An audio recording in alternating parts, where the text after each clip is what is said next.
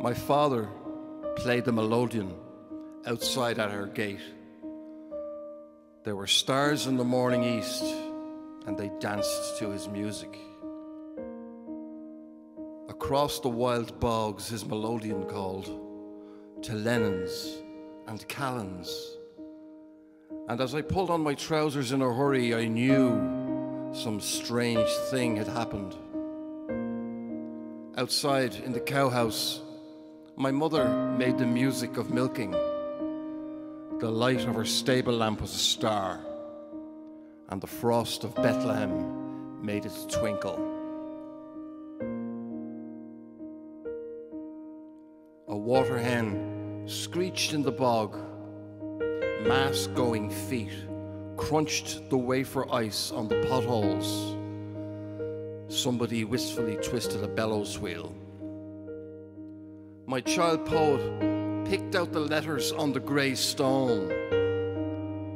In winter, the wonder of a Christmas townland, the winking glitter of a frosty dawn.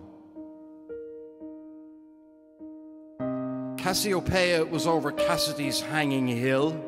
I looked, and three whin bushes rolled across the horizon. The three wise kings. An old man passing said, Can't he make it talk? the melodeon. I hid in the doorway and tightened the belt on my box pleated coat.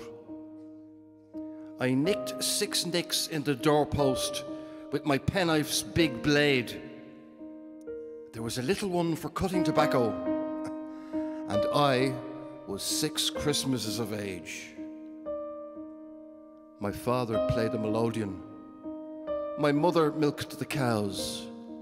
And I had a prayer like a white rose pinned on the Virgin Mary's blouse.